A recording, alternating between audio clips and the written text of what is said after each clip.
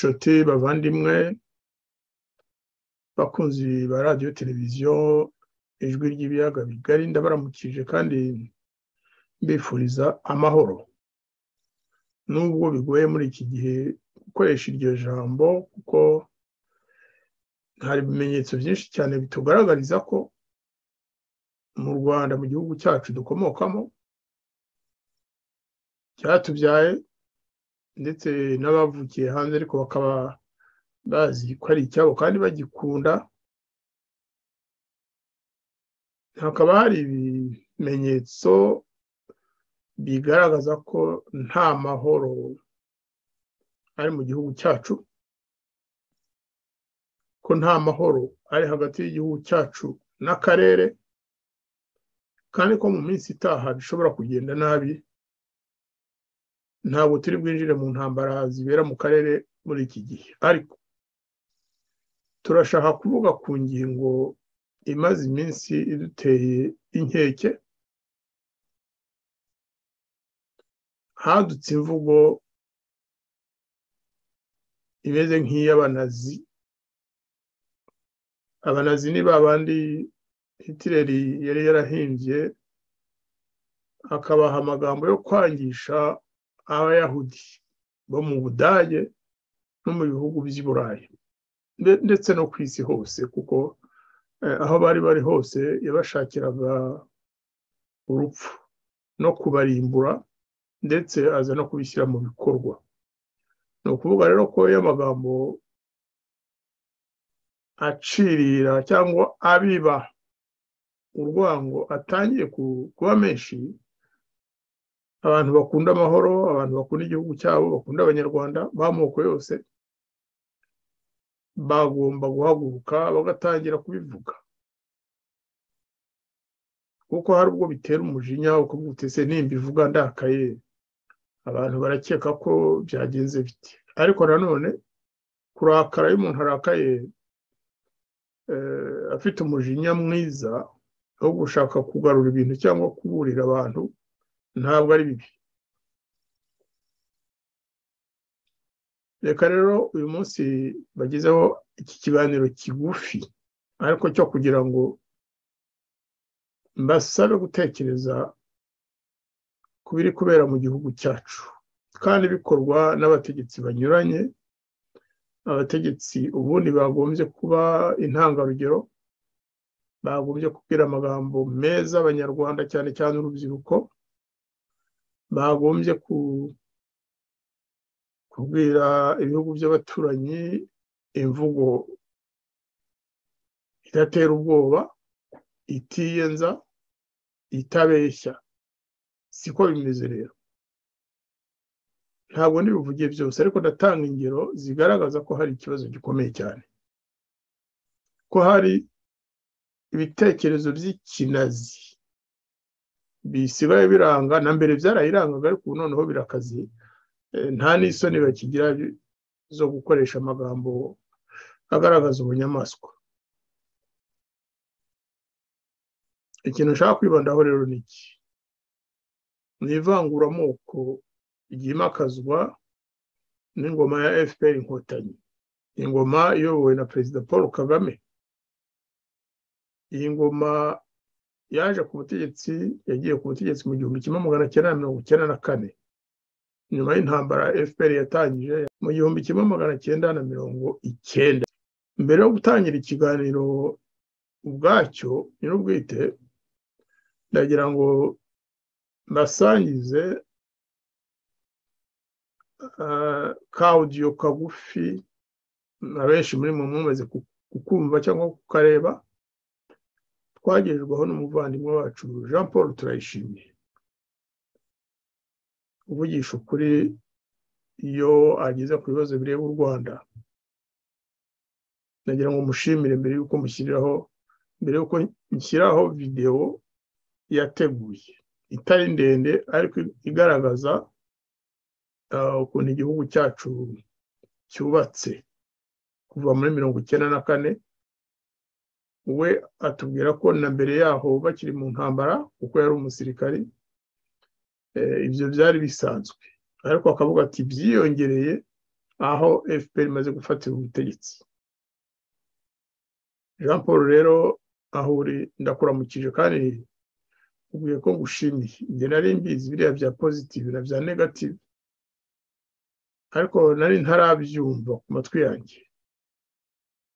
Nyamara ubwo bivuzwe n'umuntu wabibayemo wari umusirikari wabyumvaga buri munsi na nyuma yaho akareba ukuntu bakoresha iyo sisiteme y'ivanguramoko yo kugira ngo bamwe babatoneshe abandi babasige inyuma y'urugi ni ukuvuga ko ari ibintu tugomba kwitondera. Kandi byashyizwe mu bikorwa n'ubu gishyirwa mu bikorwa mu nzego zose ari iza politiki ari iza gisirikare ari imibanire hagati y'abaturage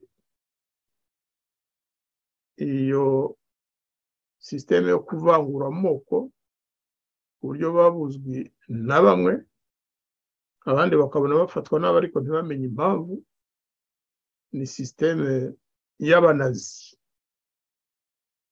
ivuga iti bariya ni beza bariya bo ni babi reka rero mbashyirireho videwo yakozwe na jean paul turayishimye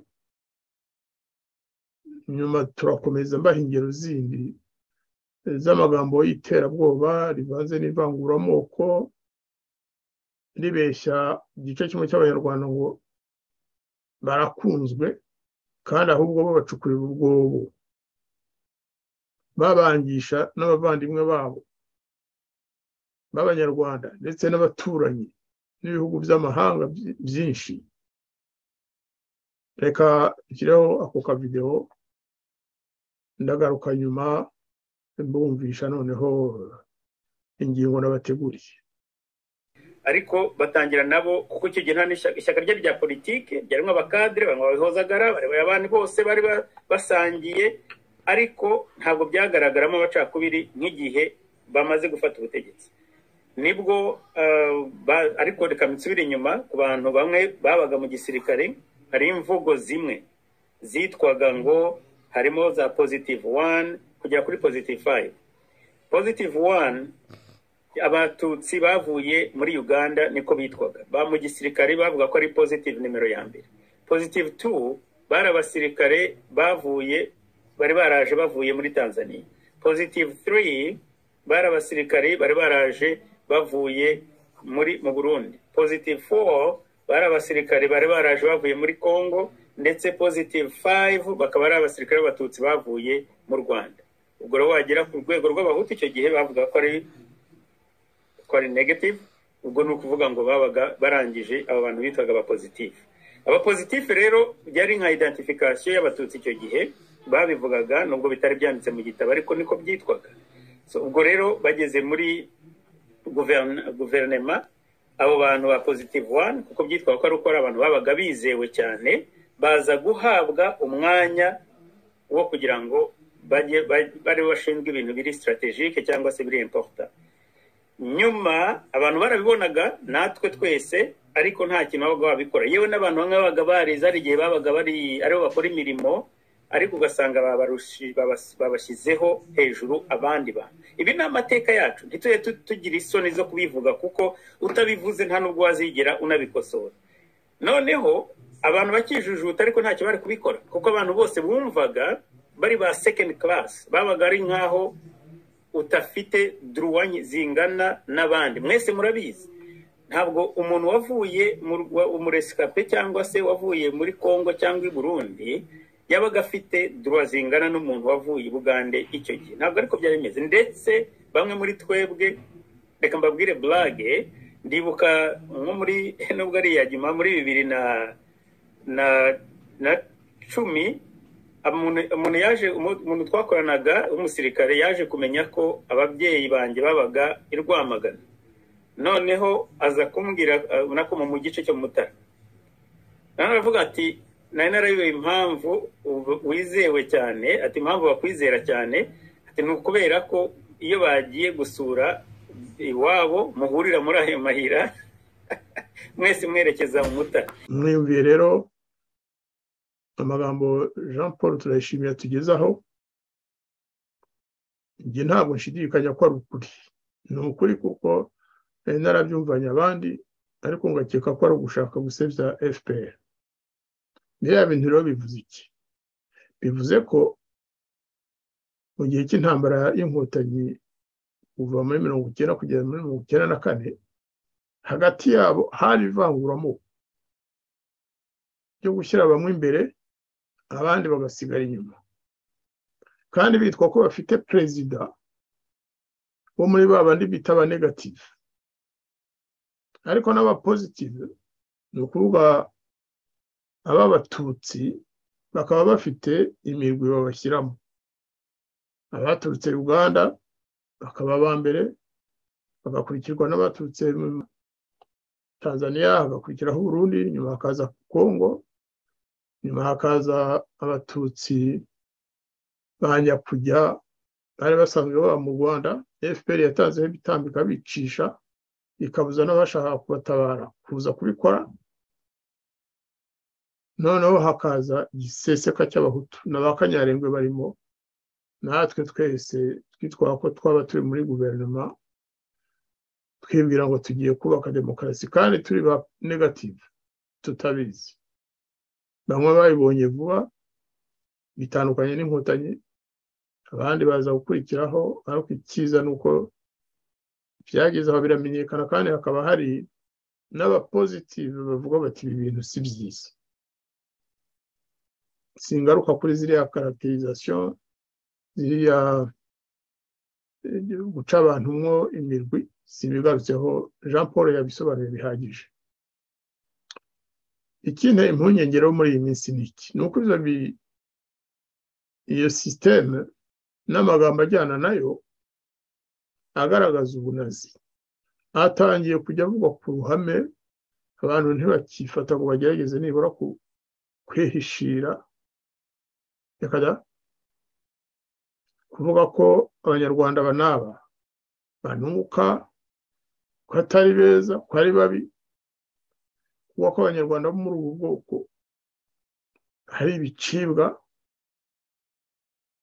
ibyo ntibigihishirwa perezida kagame ubwe perezida wa repubulika ni we wakunze kujya asohora amagambo akaze cyane avuga ko yababajwe ko atatsembye ngo arangize ku isi abanyarwanda bo mu bwoko bw'abahutu. Cyane cyane bari bahungiye muri congo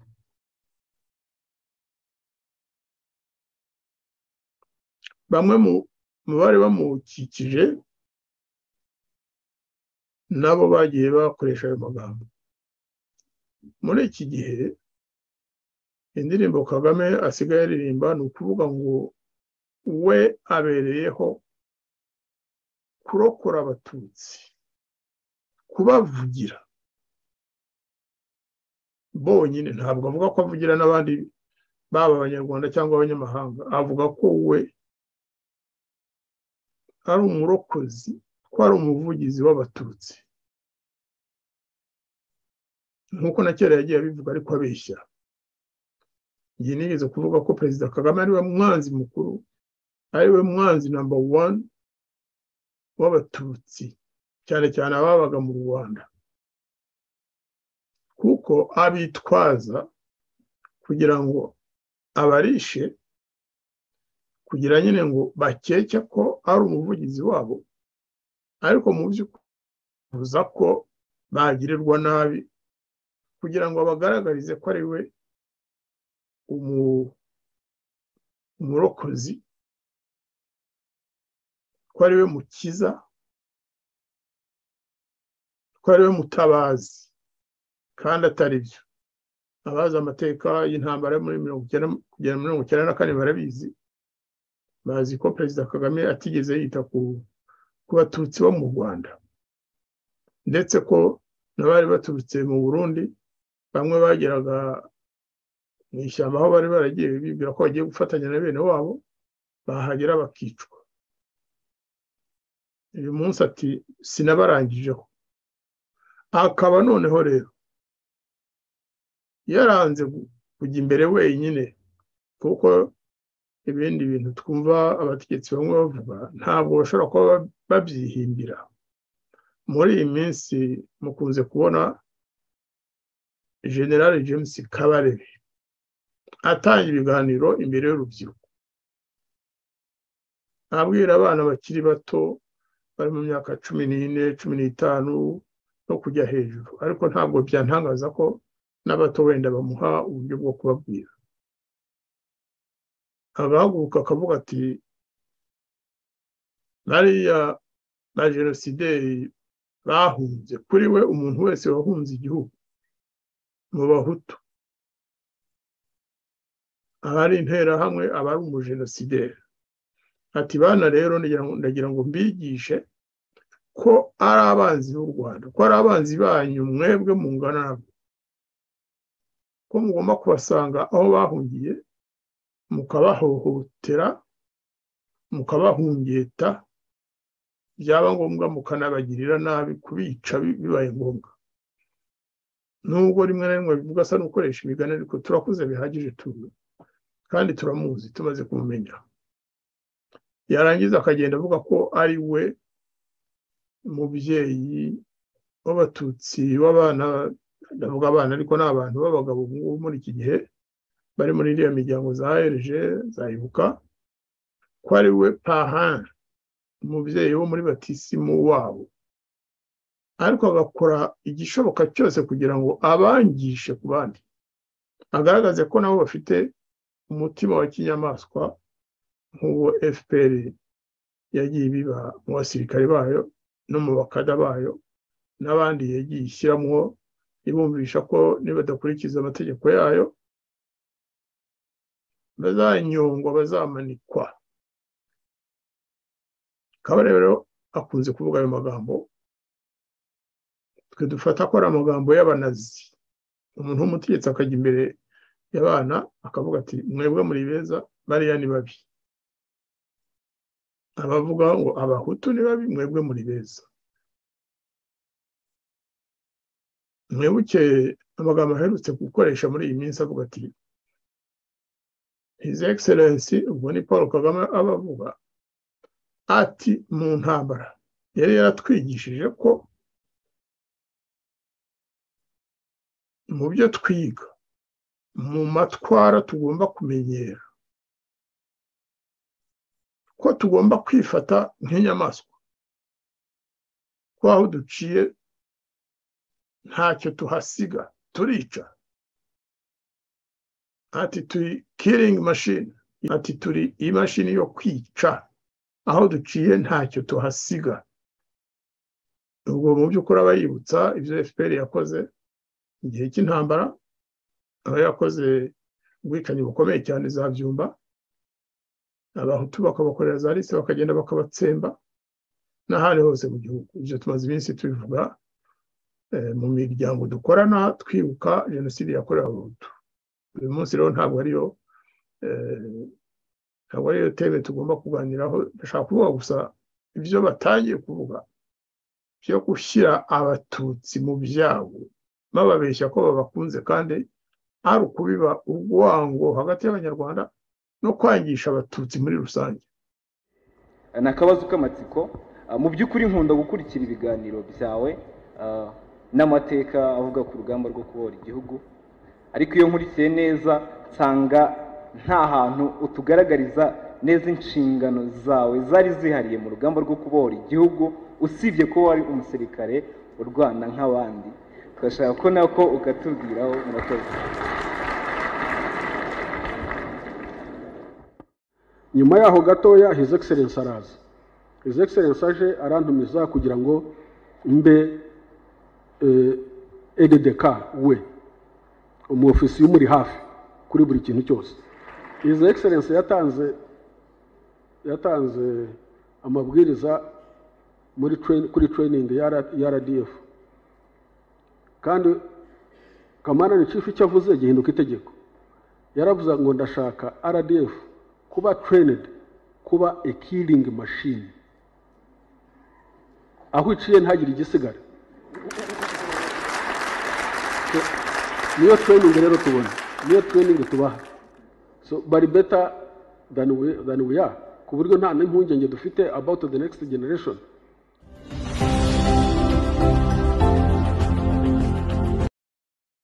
Kabarebe rero ati bose ibirura twebwe fpr turi ibirura fpr ni ibirura ni kabare biba zivuye aho duciye fpr aho iciye. Nta katsi kahasigara. Irica bose kandi byarabaye.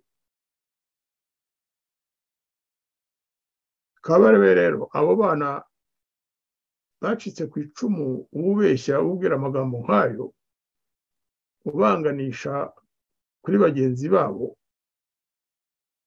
ntabwo ari ukubashakira ingufu ahubwo uri gutuma abandi bavuga bati eee yaba abantu ni ibirura ni abicanyi nta mpuhwe tugomba kubagirira natwe ubutaha nitubona ingufu tuzarangiza. Iyo ubwira umwana buri munsi uti mwana ni wowe mwiza. Uriya mwene nyoko ni mubi. Ntukemere gusangira nawe. Ahubwo nubishobora uzagenda umwice. Wa wundi nawe akamenya ko ababyeyi bari gusaba abana kuzabica barumva ko nta rukundo rushobora kuba hagati y'abana bavukana. Niba twemera ko abahutu n'abatutsi n'abatwa turi abavandimwe. Nizeye ko kabarebe abyemera ariko nkeka ko ideoloji batoranyije n'iy'abanazi yo kuvuga ko ubwoko bumwe bugomba kuba bwiza bugashyigikirwa kandi babubeshya ko abandi bo ari babi bagomba guhungitwa. Ubwo ni kabarebe navuga ko ubwo buryo iyo mikorere ya kabarebe na bagenzi be bo mu rwanda igiteye ubwoba ni uko imaze no gukwira mu karere kose. Abantu biyita abatutsi cyangwa abahima ni imvugo nge ntarimenyereye ko umuntu ahaguruka ari umuyobozi ari umutegetsi akagenda akoresha imvugo zo kugaragaza ko yikunda ko akunda abo mu bwoko bwe bonyine ko abandi bagomba kurwanywa byaba ngombwa bakicwa.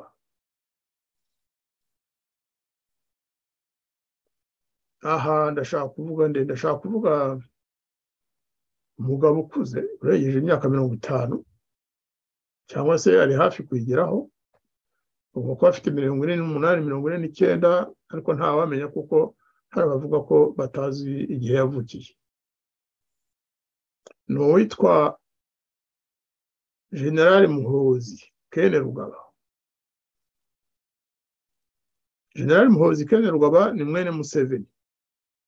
Uwo mugabo rero amaze kutumenyereza imvugo zidasanzwe.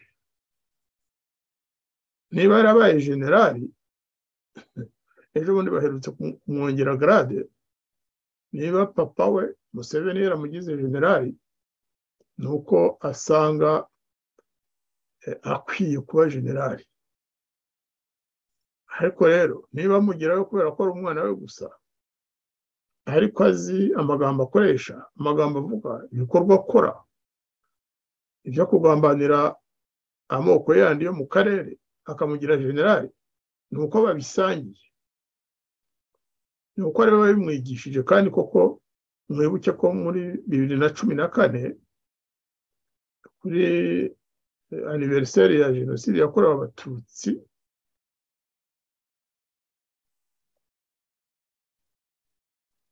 perezida museveni wa uganda yavuze amagambo na yo ya kinazi.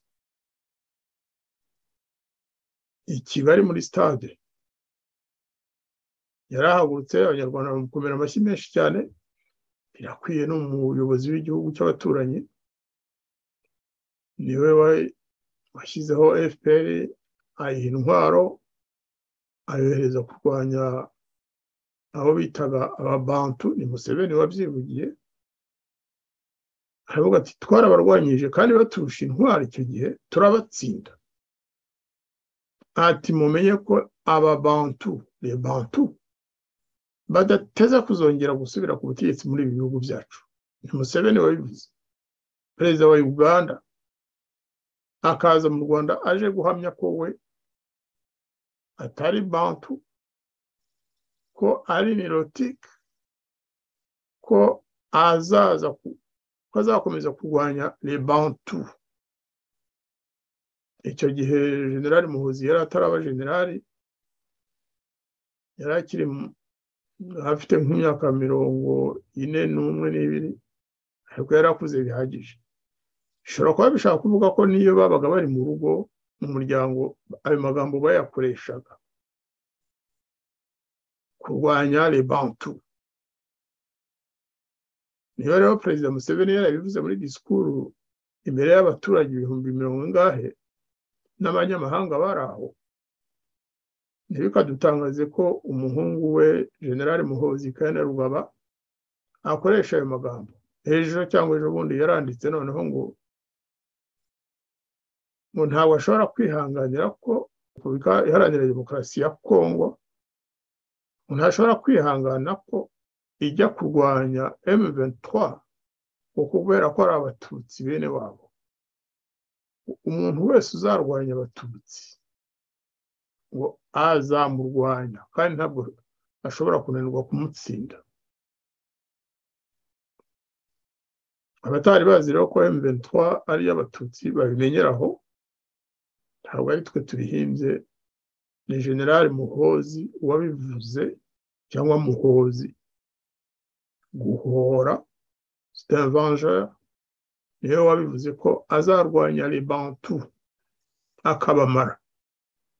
Inshuti bavandimwe rero ndagira ngo amagambo nk'ayo mujye mwicara muyatekerezeho iyo generali muhozi afashe ijambo cyangwa akandika kuri twitter.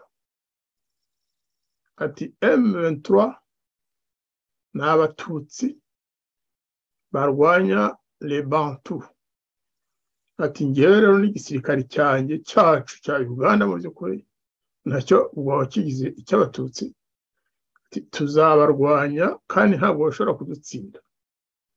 Uwo muntu aba ashaka kugira ngo abo batutsi b'abanyekongo babane n'abandi banyekongo mu mahoro cyangwa abashaka kongera umuriro no kubongerera urwango. Ninde wishimira ko umubyeyi cyangwa inshuti amuteranya na bene nyina? Kuko abo muri M23 bavuga ko ari abanyekongo. Bati turi abanyekongo. Turashaka kubahwa. Generali muhozi wita umututsi w'umuhima arabyandika buri munsi akaza ati bariya lebantu tuzabica tuzabamara. Iyo mvugo murabona abikora ari urukundo afitiye abatutsi cyangwa abafitiye urwango rushobora gutuma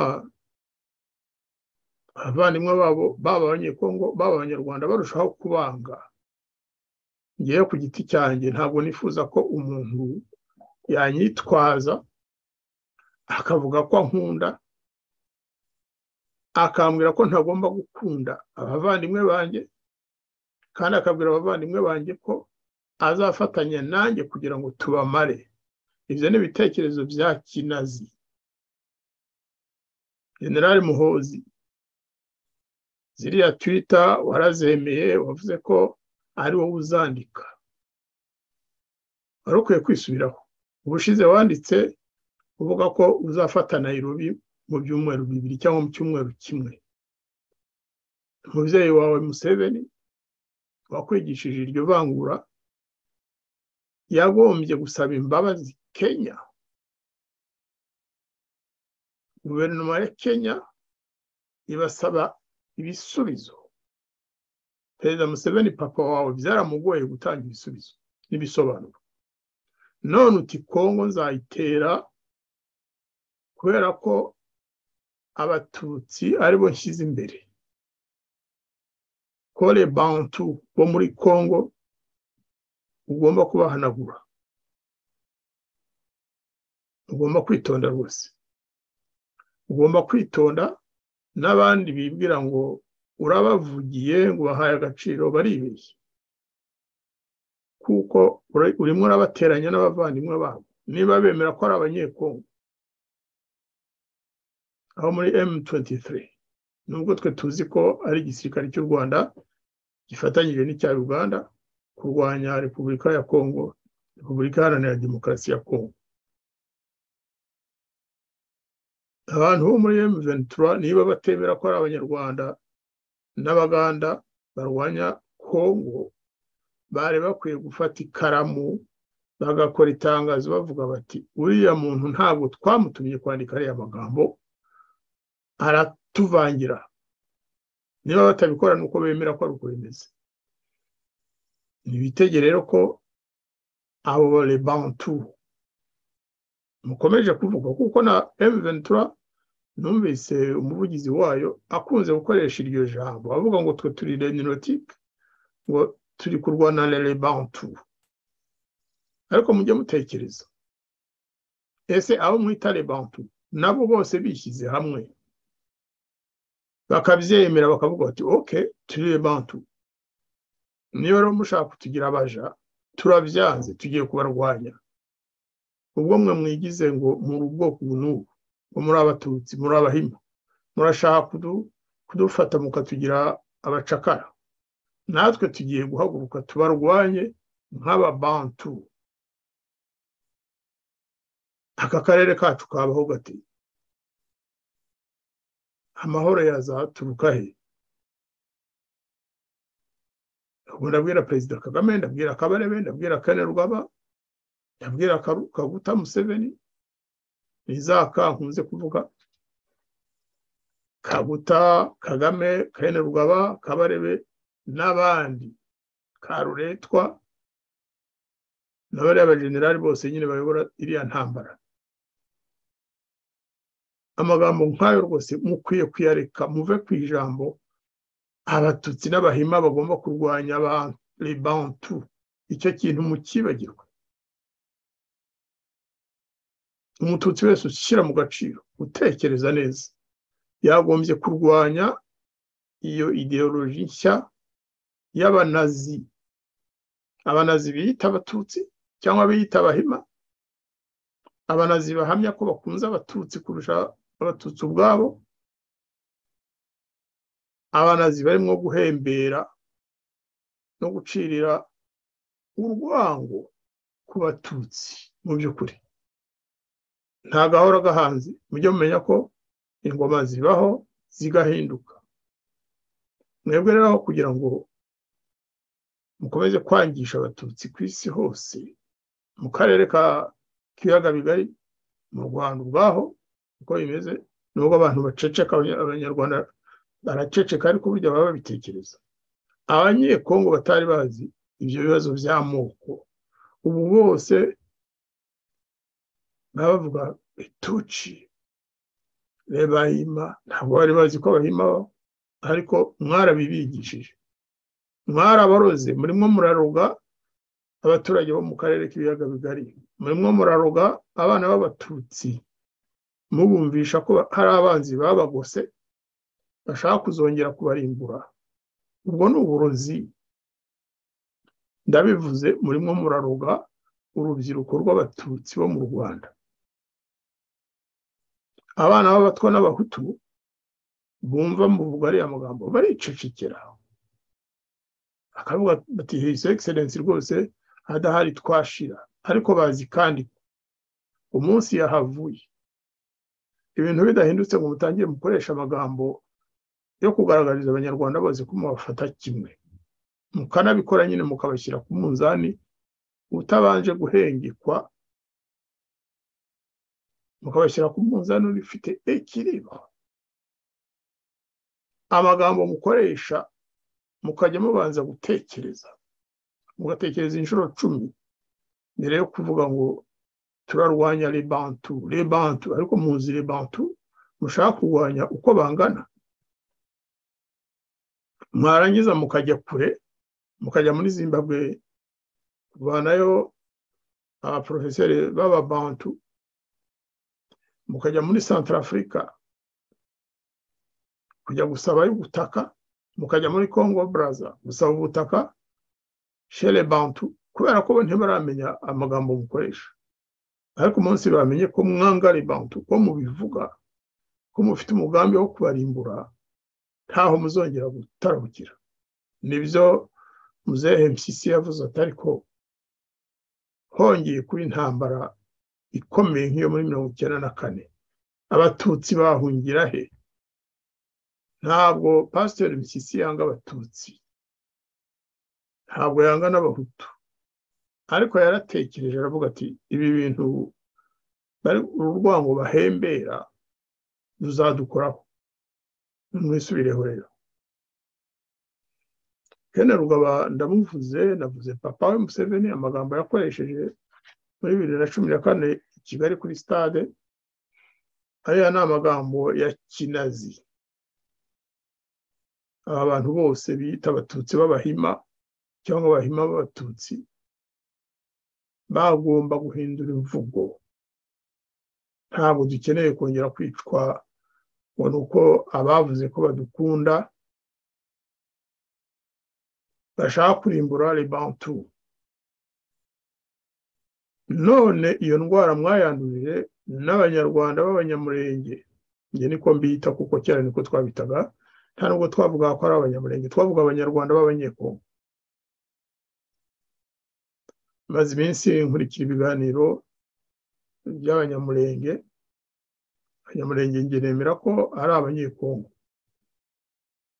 Kuko mbere ya indepandanse abakuze twari tubazi twari tuzi ko hari abanyarwanda bafite ikinyarwanda na accent nk'uko no mu zindi mpande z'u rwanda abanyarwanda tutavuga ikinyarwanda kimwe.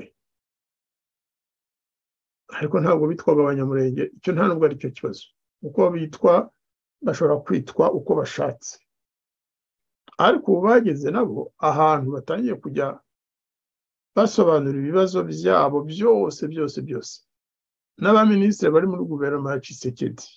N'abari muri guverinoma ya kabira bose baravuga ngo ikibazo dufite twebwe abanyamurenge ngo ni uko dusa ngo dufite fasiyesi y'abanirotike. Kamoni ibyo birahagije kugira ngo abantu basa n'abanirotike bangwe akaba ari cyo gisubizo cyangwa igisobanuro utanga kugira ngo usobanure intambara ya M23 M23 kuko tuzi ko hari abanyamurenge bayishyigikiye. Ariko tuzi ko iyoborwa n'abajenerali b'abanyarwanda. Kugeza aho abanyamurenge ubwabo batangiye kujya bavuga ngo twe turi abanirotike ngo tuzitiwe ngo twagoswe hirya no hino ngo duturanye na rebantu ibyo bintu bizatugeza he? Ni bya bindi umusaza nyakwigendera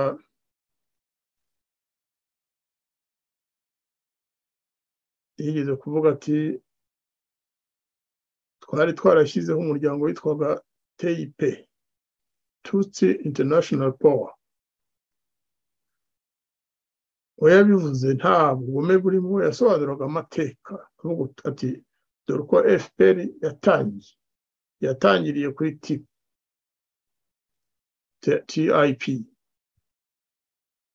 iza kuba fpr yarabanje kera kuba inari cyangwa imiryango yindi yari isanzweho kandi bwari uburenganzira bwabo ariko bitangiye kwigaragaza ko ufite icyo urusha abandi ko umunyamurenge tuzi abanyamurenge muri za mirongo itandatu nta nubwo bajyaga mu mashuri bose barabashumba.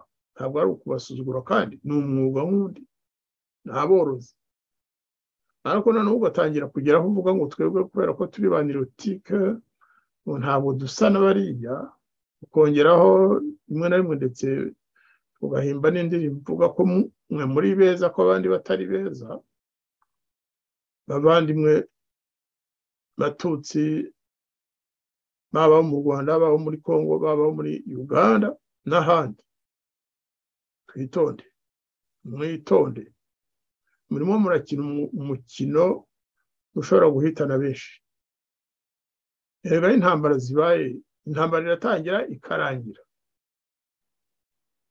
Ntabwo rero ushobora kuvuga ngo kuko muri iki gihe dufite amafaranga dufite ubutegetsi muri uganda no mu rwanda turabushaka no muri congo bizabagora abanyekongo turabazi abanyekongo twabanye ni abavandimwe bacu. Gutangira gukoresha amagambo nk'ayo ndababwiza ukuri ni ukwicukurira kobo ibyo ndabibabwiye. Ntabwo abashi. Abarega ababembe abafurero abahavu abahunde abandandi abaruba abatetera abangwandi abakongo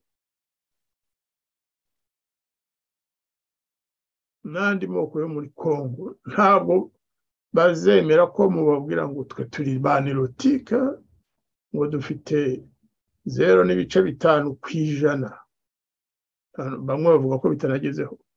Ngo turashaka muri guverinoma y'abaminisitiri makumyabiri turashakamo abaminisitiri batanu kubera ko turi abanirotike kubera ko tudasa namwe.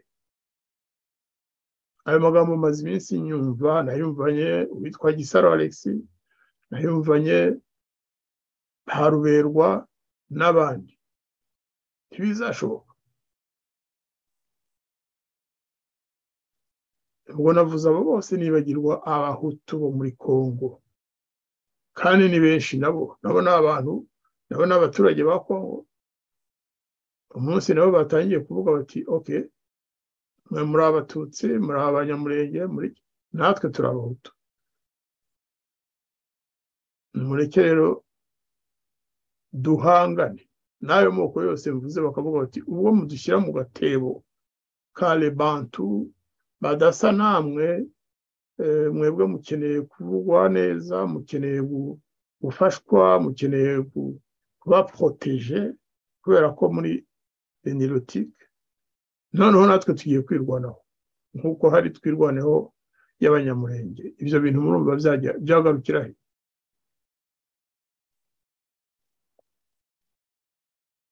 Ntawe uzababuza gutekereza ibyo mutekereza. Ariko nimuca akenge mwongere mwe ko kera mwari mumeze. Kera abatutsi ntabwo bavugaga amagambo nk'ariya ngo bajye hanze batangire kujajwa bakoreshaga ubwenge. Bakoreshaga ubwenge n'ubucakura. Ubucakura butari bubi neseserima mwebwe nta bucakura mukigira nta bwenge. Niba ari umuco mushya wazanywe na ba kabarebe w'ibinyoma n'ubugome no kuzana ibyo yita niba ari sumbiri ijya abeshya hakazana andi magambo yo kuvuga ko abasirikare b'u rwanda ba kera iyo wacaga imbere ya kamiriteri bakurasaga cyangwa bakakuviyora cyangwa bakakwica ubundi buryo ahabeshya. Nk'aho twe tutabaga muri icyo gihugu cy'u rwanda abavuga ngo yakibayemo yakibayemo hehe. Iminsi mike yamaze mu ishyamba hariya hafi y'umupaka wa uganda ni bwo aravuga ngo u rwanda rwose u rwanda ruzihe abeshya gusa. Ariko agahindukira akavuga ati twe turi kiringi mashini amaze kubeshya ko refari ngo iyo umuntu yacaga imbere ya kamiriteri baramufataga bakamukubita. Nta muntu uzi wigeze akubitirwa cyangwa yicirwa imbere ya kamiriteri icyari kibujijwe nanjye ndakizi kuko byigeze kumbaho ni ugufotora. Ariko ibyo biba ku isi yose. No mu bufaransa ntabwo wajya imbere ya kamiriteri utangira ufata amafoto. Keretse ubifitiye uruhushya. Uri umunyamakuru wasabye uruhushya nakaruha ushobora kugenda ugafotora. Ariko ntabwo umuntu ubonetse wese yaza ngo yohereze drone ajye hejuru ya kamiriteri atangire gufata amafoto. Kabarebe rero yarabeshye. Kandi abikorana ubugome ashaka kugira ngo abana b'abatutsi b'abanyarwanda batazagera bumvikana na rimwe n'abana b'abahutu. Icyo kintu amaze kubikora kenshi amaze kubikora kenshi avuga ko bamwe bubakiwe amazu kubera izi mpamvu abandi bubakirwa andi kubera izi mpamvu kubera ko basizwe n'amateka ariko abahutu bakagenda bakayabiba bakayabasohoramo bavuga batwa abeshya akabarebe biriya bintu yabyumviye gusa nagira ngo nongere ngaruke kuri icyo kibazo cyo kwangisha abatutsi. Kabarebe kagame kane rugaba kaguta museveni mupfiki n'abatutsi. Ntabwo ndi umuvugizi w'abatutsi ariko ibyo muvuga ndabyumva. Ibyo muvuga ndabyumva. Murimo muracukurira abatutsi. Akobo mucukura mwibwira ngo muragacukurira rebantu rebantu ntabwo bazakagwamo bonyine. Akarere kacu ni mukarekera amahoro. Ndabivuga nkomeje cyane. Muri abagome muri abagome abavuga ngo perezida museveni ngo ni umunyabwenge ngo azi icyo akora biriya bintu ntibakababeshye museveni ni we sipesiyalisite wo kubeshya. Twamumenye kuva yajya ku butegetsi kuva yohereza inkotanyi gutera u rwanda. Ariko akabeshya perezida habyarimana ngo ngo bagiye kuzaza ngo muganire mwinjize ababyemeye yarangiza akabohereza ku mayeri amaze kubeshya perezida habyarimana twigire muri some i new york ba bandi bazaza tugarutse avuga ba ba fred rwigema. Nari nababwiye ko ikiganiro kiba kigufi ariko hari ibintu byinshi cyane bituma umuntu yibuka akavuga ati ibi bintu nibikomeza bizatuganisha he? Ubugome bwinshi cyane. Ubugome bwinshi mu magambo y'abategetsi turi kuvuga. Ariko kabarebe we ateye isoni. Kabarebe afashe ijambo imbere y'abana baramubwira bati tubwire uko wakoraga mu gisirikari wari ushinzwe inshingano ki? Agatangira abanza kwangisha uwo bita intwari. Fred rwigema gisa. Akabanza kumutoba. Yaramutobye. Fred rwigema bariya bose nibo bagiye binjiza mu gisirikare cya uganda. Bose uko bameze. Yagendaga batoragura mu muhanda bamwe abandi nka ba kabarebe bari baramaze kwiga cyangwa bakiga akabinjiza mu gisirikare. Akabaha n'uburyo bwiza bwo kubaho akabagira aba ofisiye mu gisirikare cya uganda cyangwa abasuza ofisiye ariko kabare bati rwigema yari umuswa ntabwo yatekerezaga neza amaze kutwambutsa tugejeje mu rwanda yafashe garade ze za uganda arazijugunya niba ari byo niba atari byo twe ntitwari duhari. Ariko ukuntu abivuga no gutwenga akaba ari bafite ukuntu aseka atwenga ukabibona ko ari kubyinjoyinga ko bimushimishije kubivuga abwira abana bato bazi ko rwigema ari intwari. Njye ntabwo rwigema ari intwari yanjye ariko nubaha abavuga ko ari intwari yabo. Nubwo igitero yazanye mu rwanda cyadukoze mu nda twese. Ariko kabarebe rero afite iyo ngeso. Yo gukorera shebuja nyine perezida kagame ariko yageraho akanivamo yivuyemo kuko biriya biragaragaza ibintu byinshi cyane. Biragaragaza ko rugikubita.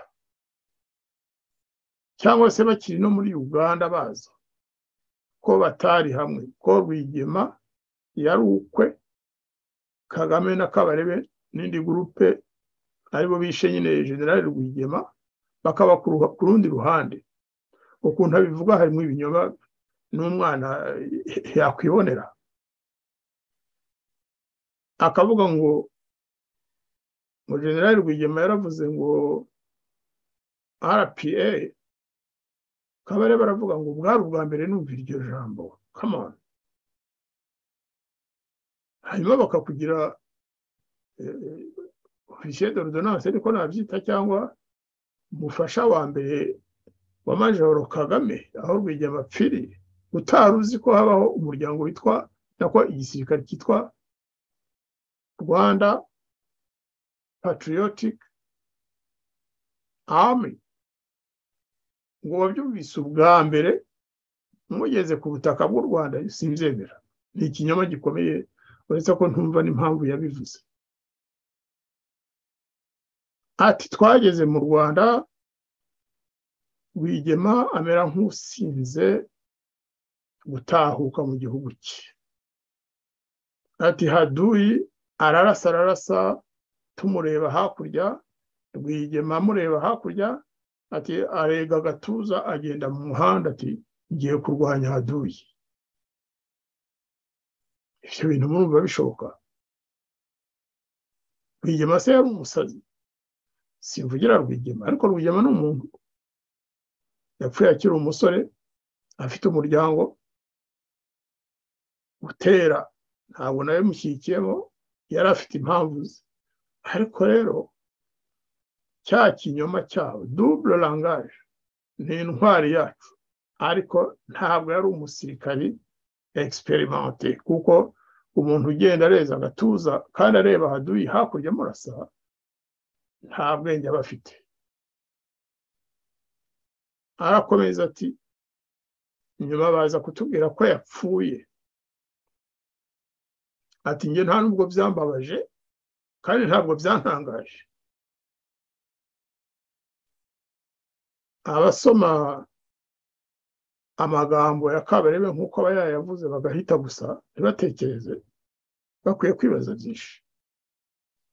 Kabarebe ati baje kutubwira ko yapfuye. Ntibyambabaza kandi ntibyantangaza kuko nari nabibonye. Nari nzi ko azapfa muri ubwo buryo. Noneho kagame ngo araza ahita amugira umusirikare umufasha we wa mbere. Nkumva ko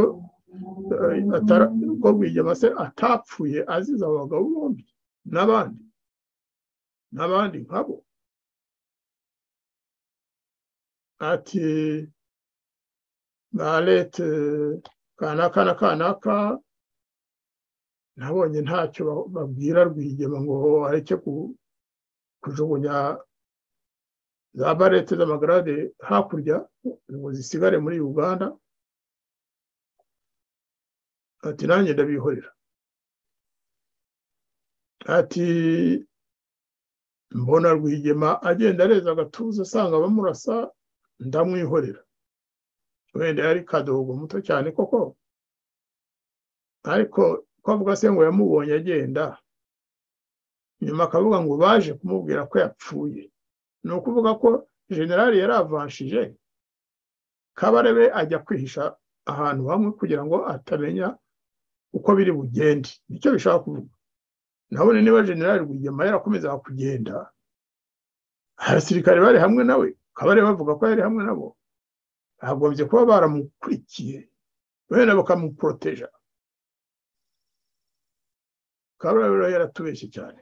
Ngewe ibyo ni uko nabimenye mu kwezi kwa cumi muri mirongo icyenda rwigema akimara gupfa rwose navuga ko ndi mu ba mbere babimenye kuko hari umuntu wandiye akara nawe kandi wari muri fpr ariko wakoraga mu muryango mpuzamahanga arambwira ati rwigema yapfuye. Ese ubimenye ute? Ati abantu iwacu uganda bari kujya kwihagira umugore we. Ati ariko byabaye ibanga ni ibanga ntabwo bigomba kuvugwa. Kabarebe ntabwo avuga igihe bamubwiye ko rwigema yapfuye. Ikindi kinyoma gikomeye cyane ubwo wenda na narengereye umurongo nari nihaye uyu munsi wo kuvuga ku kibazo cy'abatutsi. Ariko kabarebe muri iki gihe ni we uri kuri centre y'ibyo byose. Kabarebe ati rwigema yaragiye hari ku itariki ya kabiri.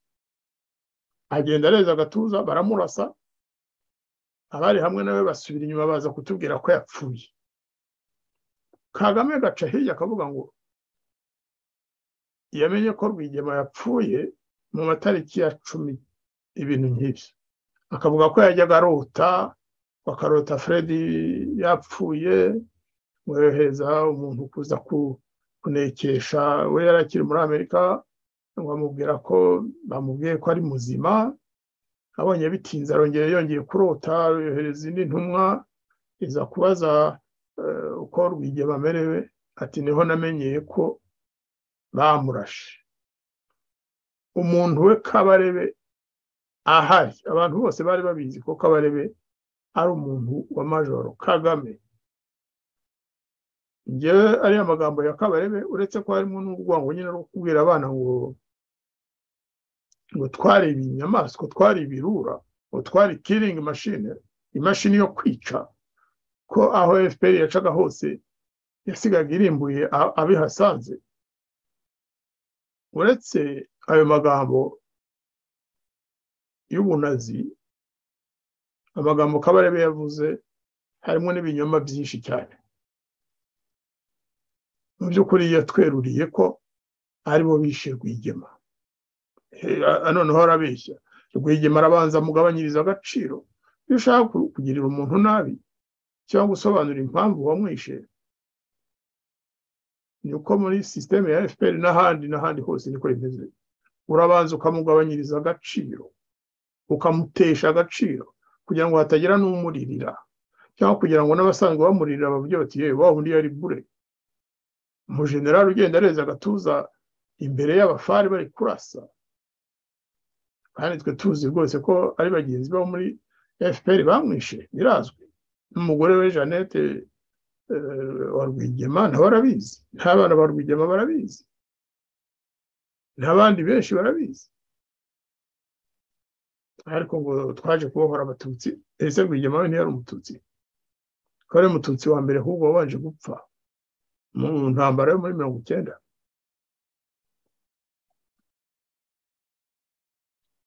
nagiraga rero ngo uyu munsi tuzirikane ariya magambo ko bari bari gukoresha yagiye anakoreshwa n'abantu bo muri ibuka ariko baba babitegetswe kabarebewe ni umuntu ukomeye muri kiriya gihugu ni umujyanama wa perezida kagame ku byerekeye umutekano. Nubwo basigaye bavuga ngo generali kanaka nta mujenerali ufite ingufu nziza kabarebe kubera ko yasangiye na kagame amaraso. Ubwicanyi bwinshi barabukoranye. Mu ndaki babaga bari hamwe. Gutegura iyicwa rya perezida habyarimana. Kabarebe yarabikomeyemo. Gutegura plan zo kujya kurimbura abahutu hirya no hino kabarebe ni we wabaga bishinzwe. Kwica abasirikari bo muri fpr kagame yabaga atagishaka kabarebe ni we wabikoze ni we wari ubishinzwe. Intambara muri congo kabarebe ati genda ni wowe bishinze abakurusha garade basanzwe bayobora igisirikare cy'u rwanda urabarenze kuva iki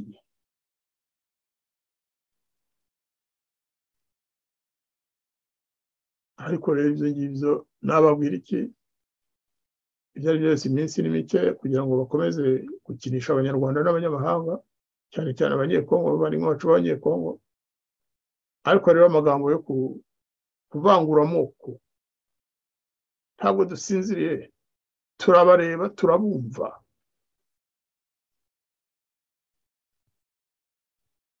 Inshuti rero bavandimwe nongere bashimire kuba mwanteze amatwi bashimire kuba mwakurikiye iki kiganiro improvize ariko nakoze kubera ko nta mujinya mfite cyane ariko mfite akababaro. Kuko ni igihugu cyacu kiyobowe n'abantu b'abanazi. Nongere mbisubiremo. Abantu biyita kandi bakabivuga bafite ishema ryinshi bakavuga ko umuryango wabo fpr ari kiringi mashini kwaho uciye hose uhasiga uhatera itabi. Tubizirikane bizatuma twumva amateka yacu ibyatubayeho kandi dufate umwanzuro kugira ngo iyo kiringi mashine turebe ukuntu yahagarara.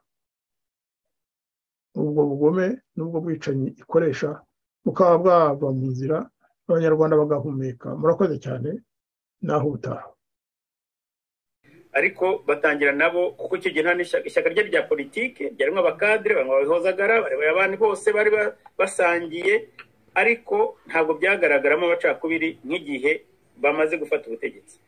Nibwo eh, ariko reka nsubire inyuma ku bantu bamwe babaga mu gisirikare hari imvugo zimwe zitwaga ngo harimo za positive one kugera kuri positive five. Positive one abatutsi bavuye muri uganda niko bitwaga. Ba mu gisirikare bavuga ko ari positive nimero ya mbere. Positive two bari abasirikare bavuye bari baraje bavuye muri tanzania. Positive three bari abasirikare bari baraje bavuye muri mu burundi. Positive four bari abasirikare bari baraje bavuye muri congo ndetse positive five bakaba ari abasirikare b'abatutsi bavuye mu rwanda. Ubwo rero wagera ku rwego rw'abahutu icyo gihe bavuga ko ari ko ari negative ubwo ni ukuvuga ngo babaga barangije aba bantu bitwaga abapositive. Abapositive rero byari nka identification y'abatutsi icyo gihe babivugaga nubwo bitari byanditse mu gitabo ariko niko byitwaga.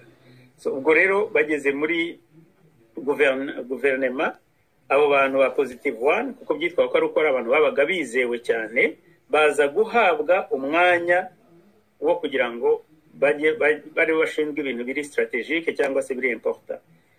Nyuma abantu barabibonaga natwe twese ariko nta kintu babaga babikora. Yewe n'abantu bamwe babaga barize hari igihe babaga bari ari bo bakora imirimo ariko ugasanga babashyizeho hejuru abandi bantu. Ibi ni amateka yacu. Ntitujye tu- tugira isoni zo kubivuga kuko utabivuze nta n'ubwo wazigera unabikosora. Noneho abantu bakijujuta ariko ntacyo bari kubikora. Kuko abantu bose bumvaga bari ba second class. Babaga ari nk'aho udafite duruwanyi zingana n'abandi. Mwese murabizi. Ntabwo umuntu wavuye umuresikape cyangwa se wavuye muri congo cyangwa i burundi yabaga afite duruwa zingana n'umuntu wavuye i bugande icyo gihe. Ntabwo ariko byari bimeze. Ndetse bamwe muri twebwe reka mbabwire burage ndibuka nko muri nubwo ari iya nyuma muri bibiri na na na cumi umuntu yaje umu- umuntu twakoranaga w'umusirikare yaje kumenya ko ababyeyi banjye babaga i rwamagana. Noneho aza kumbwira uh, nako mu gice cyo mu mutara. Aravuga ati nari narabiwe impamvu wizewe cyane ati impamvu bakwizera cyane ati ni ukubera ko iyo bagiye gusura iwabo muhurira muri ayo mahira mwese mwerekeza mu mutara. Icyo bashaka kuvuga ni uko umuntu wari waraturutse ni akabazo k'amatsiko. Ah, mu by'ukuri nkunda gukurikira ibiganiro byawe ah, n'amateka avuga ku rugamba rwo kubohora igihugu. Ariko iyo nkurikiye neza nsanga nta hantu utugaragariza neza inshingano zawe zari zihariye mu rugamba rwo kubohora igihugu. Usibye ko wari umusirikare urwana nk'abandi. Tugashaka ko nako ukatubwiraho murakoze. Nyuma yaho gatoya his excellence araza. His excellence aje arantumiza kugira ngo mbe eh, ededk we. Umuofisiye umuri hafi kuri buri kintu cyose. His excellence yatanze yatanze amabwiriza muri kuri training ya rdf kandi kamarani chief icyo avuze gihinduka itegeko. Yaravuze ngo ndashaka rdf kuba trained kuba a killing machine. Aho iciye ntagire igisigara. Niyo training rero tubona niyo training tubaha. So bari better than we, than we are. Ku buryo nta n'impungenge dufite about the next generation.